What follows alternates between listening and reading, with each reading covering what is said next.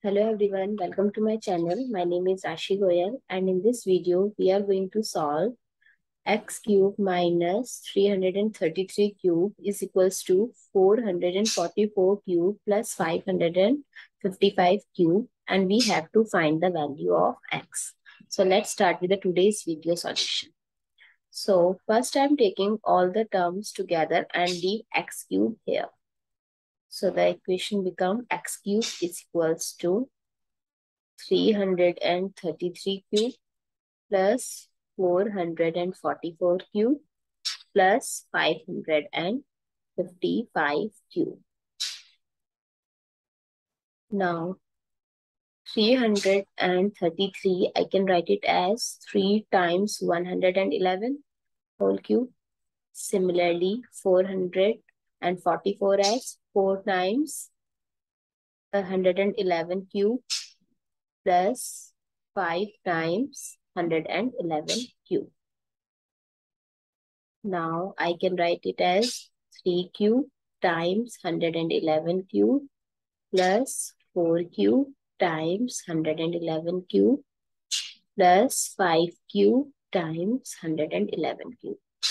Now from right hand side, I can take 11 cube as common. So what is left? 3 cube plus 4 cube plus 5 cube. Now x cube is equals to 111 cube. So 3 cube is 27 plus 4 cube is 64 and 5 cube is 125. So x cube is equals to 111 cube times when we add these three terms, we get 216. Now 216, we can write it as 6 times 6 times 6 or 6 cube.